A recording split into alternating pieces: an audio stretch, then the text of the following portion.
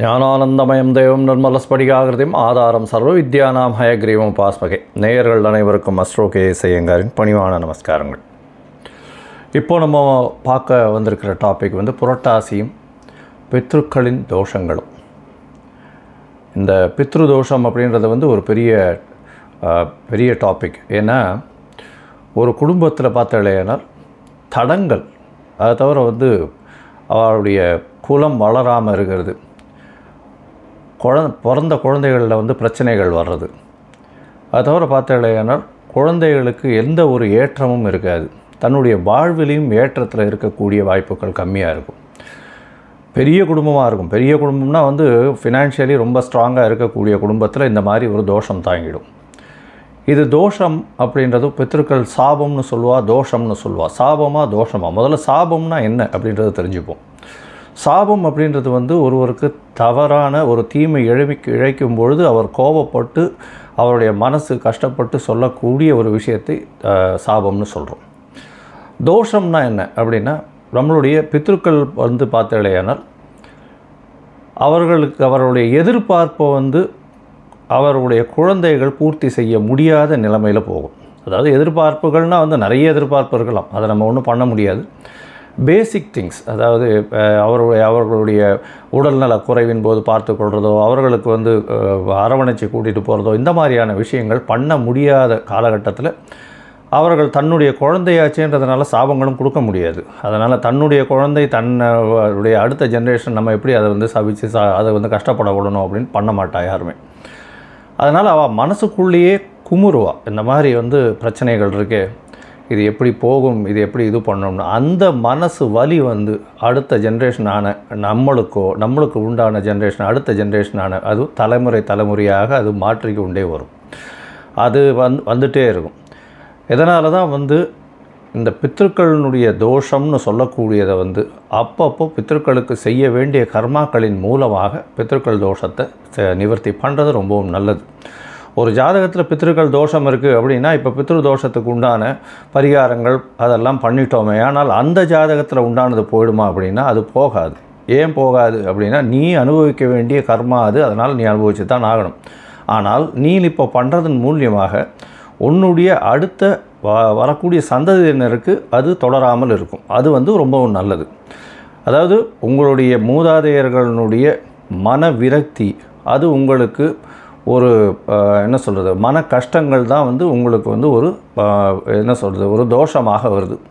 அந்த தோஷத்தை நிவர்த்தி பண்ணுறதுக்காக செய்யக்கூடிய பரிகாரங்கள் அப்படின்னு சொல்லக்கூடிய சிறு சிறு விஷயங்கள் மூலியமாக உங்களுக்கு வரக்கூடிய அடுத்த சந்ததியினருக்கு அது போகாமல் இருக்கும். சரி இப்போ வந்து இந்த தோஷங்கள்னால என்ன ஆகும் அப்படின்னு பார்த்தாலேயானால் இந்த பித்ருக்களினுடைய தோஷத்தின் மூலியமாக குடும்பத்தில் சுபகாரியங்கள் நடக்கிறதுல தடைபடும். சுபகாரியங்கள்னு சொன்னால் ஒரு கல்யாணம் ஒரு கா இது குழந்தை பிறக்கிறது ஒரு காது குத்தல் ஒரு பொண்ணுறது பொன் இது எல்லாமே சுபகாரியத்தில் சேரும். இந்த சுபகாரியங்கள் எல்லாமே தடைபடும் இல்லைன்னா த ரொம்ப நாளாகும் ஆகிறதுக்கு. பொதுவாக இருக்கக்கூடிய நாட்களை விட்டு ரொம்ப நாளாகும். அதாவது ஒரு இருபத்தி நாலு வயசு இருபத்தி மூணு வயசில் இன்றைக்கி இருக்கிற காலகட்டத்தில் பொன் குழந்தைக்கு கல்யாணம் ஆகணும் இல்லை இருபத்தஞ்சி வயசில் கல்யாணம் ஆகணும் அப்படின்னா அது இருபத்தி ஒம்பது வயசு முப்பது வயசு கிட்ட போகும். அது தவிர படிக்கக்கூடிய மாணவ மாணவர்கள் அவர் வீட்டில் இருந்து ஆனால் அவர்கள் வந்து எழு இது வந்து என்ட்ரன்ஸ் எக்ஸாமோ ஏதோ ஒரு போட்டித் தேர்வு எழுதி அதில் வெற்றி பெறணும்னு பார்த்தாலேயானால் அந்த காலகட்டத்தில் வந்து அவர்களுக்கு தடங்கள் வரும். இது எல்லாமே வந்து உங்களுடைய பாக்கியமும் பூர்வ புண்ணிய ஸ்தானத்தையும் பொறுத்தே வரும். அதனால தான் ஜோதிடத்தில் பார்த்தேரே ஆனால் பூர்வ புண்ணியஸ்தானமும் பாக்கியஸ்தானமும் ரொம்பவும் வலுப்பெற்று இருக்கிறவன் வந்து அவன் பெரிய பாக்கியவானாக இருப்பான். எப்படின்னா பொதுவாகவே லக்னமும் லக்னத்திற்கு அஞ்சாம் இடம் லக்னத்திற்கு ஒன்பதாம் இடம் அப்படின்னு சொல்லக்கூடிய இடத்திற்கு எப்படி இருக்குது அதில் வந்து சுபர்கள் இருக்கிறதோ சுபர்களின் பார்வை இருக்கிறதோ அது அந்த அந்த அஞ்சு ஒன்பதாம் இடத்தினுடைய அதிபதிகள் ஆட்சி உச்சம் பெற்று இருக்கிறதோ இந்த மாதிரியான விஷயங்கள் இருக்கும் பொழுது உங்களுக்கு ஒரு பெரிய ஏற்றம் கிடைக்கக்கூடிய வ- வாழ்க்கை மொத்தமே ஏற்றம் கிடைக்கணும். இதில் சரி இது எல்லாமே இருக்குது அப்படின்னாலும் அந்த திசையும் வரணும். அந்த திசையும் வந்து அந்த திசையின் மூலியமாக உங்களுக்கு வந்து எல்லா விதமான சுபத்தத்தை கொடுக்கக்கூடியதாகவே இருக்கும். இப்போ பார்த்தோம்னா உங்களுடைய ராசிக்கு இப்போ பொதுவாக பொதுவாகவே பார்த்தோம்னா உங்களுடைய ராசி லக்னத்திற்கு பார்க்கும்போது லக்னத்திற்கு தான் பார்க்கணும் பிறந்தவாளுக்கு. இந்த லக்னத்துக்கு அஞ்சாம் பாவாதிபதினு சொல்லக்கூடியவர் வந்து பூர்வ புண்ணிய புத்திர ஸ்தானாதிபதினு சொல்லுவார் பூர்வ புண்ணிய ஸ்தானத்தை குறிக்கக்கூடியது உங்களுடைய குலதெய்வத்தை குறிக்கக்கூடியது. நீங்கள் உங்களுக்கு வரக்கூடிய அதாவது பெரிய அதிர்ஷ்டங்கள் ரேஸு லாட்ரி இந்த மாதிரியான ஜாக்பாட் அடிக்கக்கூடிய திடீர் பணம் வரக்கூடிய இடம். அதோட வந்து இந்த அஞ்சாம் இடத்தை பார்த்துருக்கிறேன்னா பொதுவாகவே அடுத்த ஜென்ரேஷன் அதாவது குலம் வளரக்கூடிய புத்திரஸ்தானத்தை சொல்லக்கூடியது.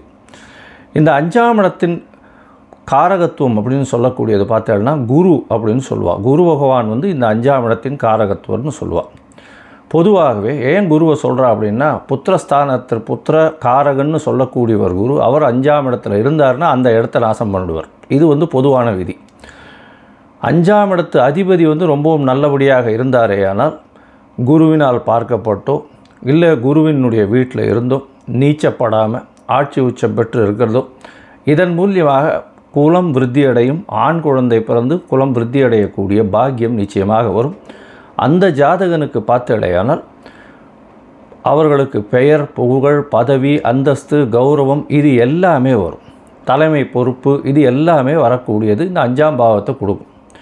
இதன் மூலியமாக பார்த்தடையானால் உங்களுக்கு வந்து எந்த ஒரு விஷயத்திலும் தடைகள் இருக்கக்கூடிய வாய்ப்புகள் இல்லை.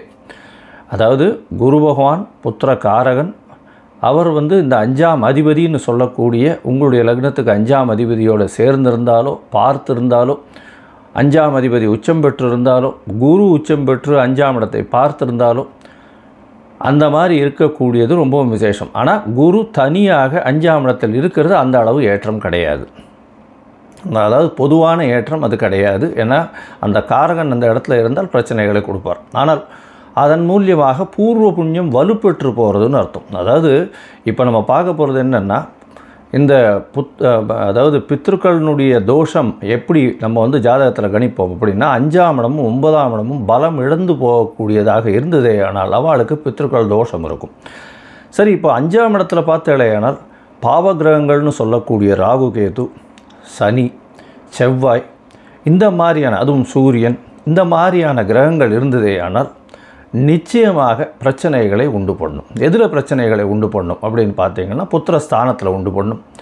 எந்த ஒரு முயற்சியிலையும் உங்களுக்கு வந்து அதை தடை பண்ணக்கூடிய அளவிற்கு இருக்கக்கூடும். அதனால் வந்து அஞ்சாம் இடம் லக்னத்திற்கு அஞ்சாம் இடம் எந்த பா எந்த இடமோ அதனுடைய அதிபதியும் நல்லா இருக்கணும்.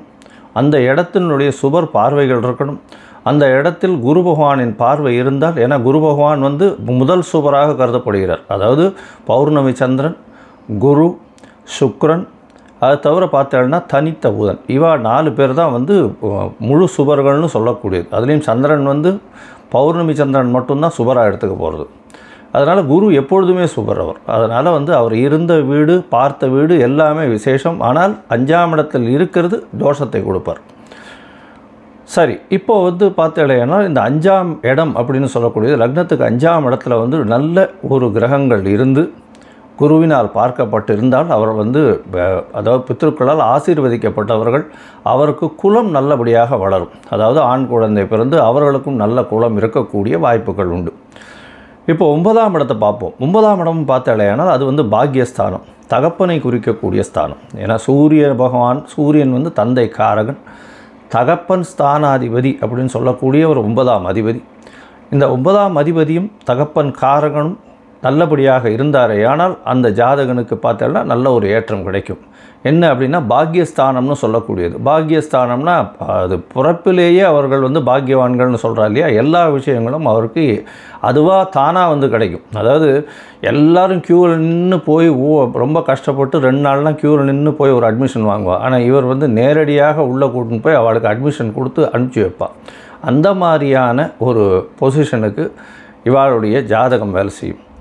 அதுக்கு காரணம் வந்து ஒன்பதாம் இடம் வந்து ரொம்ப ஸ்ட்ராங்காக இருக்கும். ஒன்பதாம் இடம் அப்படின்னு சொல்லக்கூடியது லக்னத்துக்கு ஒன்பதாம் இடத்துல சுபர்களுடைய பார்வையோ சுபர்கள் இருக்கிறதோ. அதை தவிர வந்து என்ன சொல்கிறது சுபர்கள் பார்வை சுபர்கள் இருக்கிறது. அந் ஒன்பதாம் அதிபதி வந்து நல்ல நல்ல இடத்துல அதாவது உச்சமோ ஆட்சியோ பெற்று இருக்கிறது ஒரு நல்ல ஏற்றத்தை கொடுக்கும். இதன் மூலியமாக பார்த்தோன்னா ஒன்பதாம் அதிபத்தியம் நல்லபடியாக இருந்ததே ஆனால் அவர்களுக்கு வெளிநாடு பிரயாணம் கிடைக்கும். வெளிநாட்டில் போய் படிக்கக்கூடிய பாக்கியம் நிச்சயமாக கிடைக்கும். வெளிநாட்டிலேயே இருந்து பிஆர் அதாவது பர்மனண்ட் ரெசிடென்ஷிப் கிடைக்கக்கூடிய வாய்ப்புகள் நிச்சயம் உண்டு. தந்தையின் உதவியின் மூலியமாக பெரிய மனுஷராக வரக்கூடிய வாய்ப்புகள் நிச்சயமாக உண்டு. சரி இப்போ வந்து இந்த ஒன்பதாம் இடம் வந்து கெட்டு போயிருக்கு அப்படின்னா பொதுவாகவே ஒன்பதாம் இடத்துல போய் சூரியன் இருந்தார்னா அந்த தந்தை காரகன் வந்து தந்தை ஸ்தானத்தில் போய் நின்னார்னா அந்த இடத்த கெடுத்துருவார் இது வந்து காரகோ பாவனாஸ்தின்னு சொல்லக்கூடிய விஷயம். அதனால் அந்த காரகன் அந்த இடத்துல இருக்கக்கூடாது. இருந்தால் அந்த இடத்த கெடுத்துருவார் அப்படின்னு சொல்கிறது இது வந்து அஞ்சாம் இடத்துக்கு உண்டான குருவுக்கும் பொருந்தும் தனித்த குருவாக சூரியனுக்கும் ஒன்பதாம் இடத்துக்கும் பொருந்தும். அதனால் வந்து பார்த்தாலேயானால் மிச்ச கிரகங்கள் இருக்கிறது ரொம்ப விசேஷம். ஆனால் துர்கிரகங்கள் இருக்கக்கூடாது. அதாவது ராகு கேது செவ்வாய் இதெல்லாம் இருக்கிறது வந்து விசேஷம் இல்லை. இது இருந்ததே ஆனால் தந்தை மூலியமாக பிரச்சனை வரும். அரசு உத்தியோகத்தின் மூலியமாக பிரச்சனை வரும் அரசாங்கத்தினால் பிரச்சனைகள் வரும். அது தவிர உங்களுக்கு உத்தியோகத்தில் மேலே ஏற்றம் போகிறதுக்கு பிரச்சனைகள் வரும். வெளிநாடு போய் படிக்கிறதுக்கு மேல் படிப்பு படிக்கிறதுக்கு எல்லாத்துக்குமே பிரச்சனை வரும். எந்த ஒரு விஷயத்திலும் தடங்கள் வரக்கூடிய வாய்ப்புகள் மிகவும் அதிகம். இந்த மாதிரியான பொசிஷனில் நம்ம என்ன பண்ணலாம் அப்படின்னா பூர்வ புண்ணிய ஸ்தானத்தையும் உங்களுடைய புத்திரஸ்தானத்தையும் பாக்கியஸ்தானத்தையும் வலுப்படுத்துறதுக்காக இந்த புரட்டாசி மாதம் அப்படின்னு சொல்லக்கூடியது வந்து பித்ருக்களுக்கு உண்டான மாதம் புரட்டாசி மாதம் அப்படின்றது வந்து பார்த்திங்கன்னா பித்ருக்களுக்கு உண்டான மாதமாக அதாவது ஆடி ஆவணி புரட்டாசி மூணாம் மாதம் இந்த தட்சிணாயனத்தில் வருது. முதல் மாதமான ஆடி மாதம் வந்து தெய்வங்களுக்கே உண்டானது. மூன்றாம் மாதமான இந்த புரட்டாசி மாதம் பார்த்தோன்னா ம- இந்த மாலையபட்ச க- மொத்தம் பதினஞ்சு நாளும் வந்து பித்ருக்களுக்கு செய்ய வேண்டிய கர்மாக்களை செய்யணும். இந்த மாலையபட்சம் அப்படின்றது பக்ஷம் அப்படின்னா பதினஞ்சு நாள். ஒரு பக்ஷம் அப்படின்றது பதினஞ்சு நாள். அதாவது பௌர்ணமியிலிருந்து அமாவாசை வரலும் உண்டான காலகட்டத்தை கிருஷ்ணபக்ஷம்னும் அமாவாசையிலிருந்து பௌர்ணமி வரலும் இருக்கக்கூடிய காலகட்டத்தை சுக்லபக்ஷம்னு சொல்கிறோம் இதில் வந்து மாலைய பக்ஷம்ன்றதும் கிருஷ்ணபக்ஷத்தில் வரும்.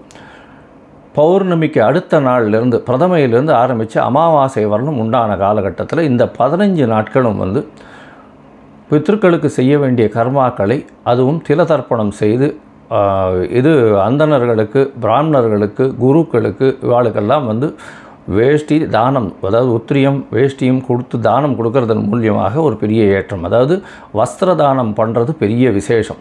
அதை தவிர பிண்ட தானம் கொடுக்கறதும் அதை தவிர காக்கைக்கு வந்து இப்போ எள்ளில் சாதம் வச்சு இது பண்ணுறதும் கொடுக்கறதும் இது வந்து பெரிய விசேஷம். இந்த காலகட்டத்தில் பார்த்தோன்னா இந்த வருஷத்தில் அதாவது ரெண்டாயிரத்தி இருபத்தி நாலு புரட்டாசி மாதத்தில் வரக்கூடியதில் பார்த்தோன்னா இருபத்தி ஒன்று ஒம்பது ரெண்டாயிரத்தி இருபத்தி நாலு மகாபரணி வருது. அது தவிர இருபத்தி அஞ்சாந்தேதி இருபத்தி அஞ்சு ஒம்பது ரெண்டாயிரத்தி இருபத்தி நாலில் பார்த்தோன்னா உங்களுக்கு அஷ்டமி வருது. அதாவது மத்திய அஷ்டமி அவிதா நவமி அதுக்கு அடுத்த நாள் இருபத்தி ஆறாம் தேதி வருது. அமாவாசை மகாலயபட்ச அமாவாசை வந்து ரெண்டாம் தேதி அக்டோபர் ரெண்டாம் தேதி வருது இந்த ரெண்டாயிரத்தி இருபத்தி நாலு. இந்த காலகட்டமான இந்த நாலு நாட்களில் உங்களுடைய பித்திருக்கள் எப்போ வந்து காலமானார்கள் அந்த திதி எதுவுமே தெரியல அப்படின்னா கூட இந்த நாலு நாட்களில் அதாவது இருபத்தி ஒன்று ஒம்பது இருபத்தி நா அஞ்சு ஒம்பது இருபத்தி ஆறு ஒம்பது ரெண்டு பத்து ரெண்டாயிரத்தி இருபத்தி நாலு. இந்த நாட்களில் போய் அருகில் இருக்கக்கூடிய ஆற்றங்கரையில் மூன்று க- ஆறுகள் சேர்ற இடம் அதாவது கூடுதுறை அது மாதிரி சொல்லுவாள் அந்த மூன்று ஆறுகள் சேரக்கூடிய இடம். இதை தவிர வந்து குளங்கள் இருக்கக்கூடிய கோவில்கள் அதை தவிர வந்து இது ஆறுகள் ஓடும் இடம்.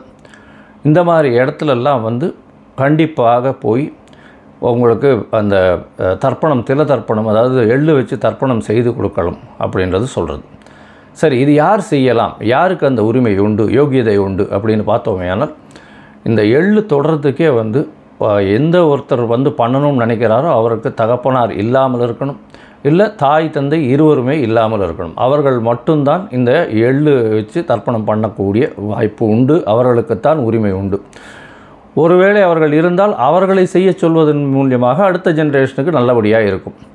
ஸோ இது வந்து ஒரு நல்ல ஒரு விஷயம். இந்த பதினஞ்சு நாளில் வந்து போய் பண்ணிட்டு வர்றது நாலு நாட்கள் இருக்குது அதாவது இருபத்தி ஒன்று இருபத்தஞ்சி இருபத்தி ஆறு ரெண்டு இந்த நாலு நாட்களும் நல்ல ஒரு ஏற்றமான காலமாக நிச்சயமாக கிடைக்கும். அதனால் கண்டிப்பாக இந்த காலகட்டத்தில் நீங்கள் போய் பண்ணிக்கிறது ரொம்பவும் நல்லது. இதன் மூலியமாக பார்த்தலையானால் உங்களுக்கு வந்த பிரச்சனைகளும் வரக்கூடிய பிரச்சனைகளும் நிச்சயமாக போகும். அதை தவிர பார்த்தலையானால் உங்களால் பண்ண முடியல அருகில் இருக்கக்கூடிய கோவிலில் நீங்கள் போய் உங்கள் வஸ்திரதானம் அதாவது குருக்களுக்கு வஸ்திரதானம் ஒரு வெள்ளை கலர் வேஷ்டியும் அதற்கு பிறகு உத்திரியமும் ஒன்று ஒரு ஒம்போதஞ்சு வேஷ்டியோ இல்லை பத்தாறு வேஷ்டியோ வாங்கி அங்கே அவளுக்கு தானமாக கொடுக்கறதன் மூலியமாகும். உங்களுடைய வந்த பிரச்சனைகளும் வரக்கூடிய பிரச்சனைகளும் நிச்சயமாக விலகி உங்களுடைய அஞ்சாம் ஆதிபத்தியமும் ஒன்பதாம் ஆதிபத்தியம் லக்னத்திலிருந்து அப்படின்னு சொல்லக்கூடிய பூர்வ புண்ணியஸ்தானம் புத்திரஸ்தானமும் அதை தவிர பாக்கியஸ்தானம் அதை தவிர உத்தியோகஸ்தானம் வெளிநாடு போகக்கூடிய ஸ்தானம் அப்படின்னு சொல்லக்கூடிய ஒன்பதாம் இடமும் நிச்சயமாக வலுப்பெற்று உங்களுடைய வாழ்வில் நல்ல ஒரு ஏற்றமும் மாற்றமும் வரும். லோகா சமஸ்தா சுகினோ பவந்து.